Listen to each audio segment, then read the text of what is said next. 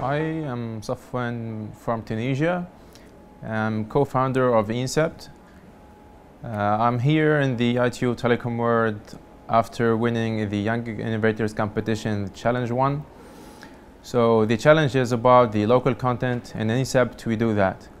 We make mobile apps and mobile services for museums and archaeological sites to deliver new experience for user and um, this is a unique opportunity for the user to travel on time. That means when he uses our app, he, he has the opportunity to see how things used to be years ago and how see, to see the monuments, how they used to be before being distracted.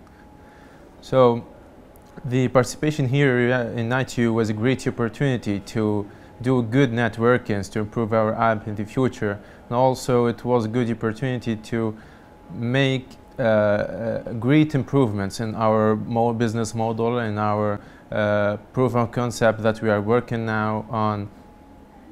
And what's next in our after our participation in the uh, Young Innovators competition is to come back to Tunisia, cooperate with our uh, our partners that we have made here, and finally finalize our product a product that we are work, working on.